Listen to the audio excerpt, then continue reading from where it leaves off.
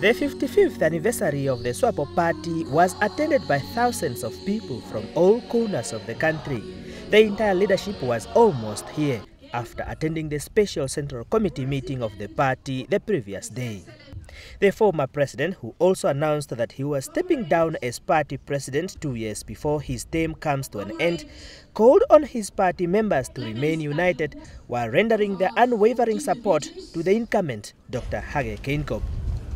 Pohamba clarified that he was stepping down to consolidate the authority of the incumbent president ah, over both the party and the government, stressing that he was not leaving the position because of being dissatisfied by the developments within the party, as some may interpret it.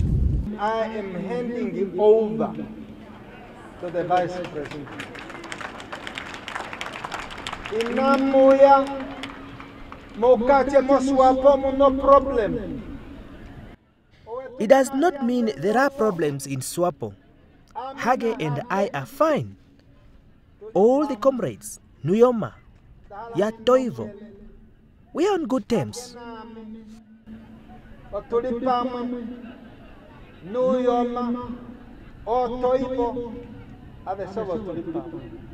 The former president criticized some Namibians who seem to be unfriendly towards fellow Africans, referring to them as aliens. Pohamba reminded Namibians that the peace that they are enjoying today came as a result of a struggle that was fought This while being hosted in other countries.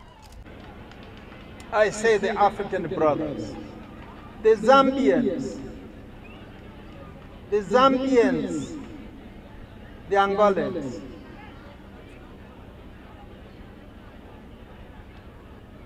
those brothers and sisters, they assisted us greatly. Tanzanians, the Tanzanians, they say Karibu, Karibun, which means welcome. We were welcomed by those people. And then now you call them, when they are here, you call them Obajajai. Stop them. It's not proper. It's not good. Donathan Ishidudu, NBC News, Oshakati.